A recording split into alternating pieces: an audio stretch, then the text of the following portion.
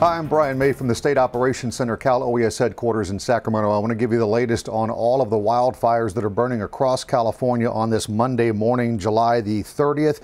Here's the numbers for the largest fires in the state, and we'll start south and work our way north. The Cranston fire, that's in Riverside County, 13,139 acres as of this morning, containment now at 57 percent.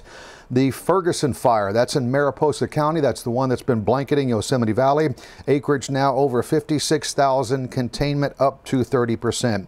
The Mendocino Complex fire, and that's actually two different fires. It's the River Fire and the Ranch Fire, and it's spanning across Lake and Mendocino counties. The river fire over 35,000 acres, the ranch fire over 20,000 acres, so combined you see the acreage at over 55,000, containment at 10%. It doubled in size yesterday. And then still the largest fire burning in the state right now. That's the Carr Fire in Shasta County. Acreage over 98,000, approaching 100,000. Containment numbers did rise significantly overnight, though, now up to 20%. Structures damaged or destroyed, though, in the Carr Fire, now up to 966.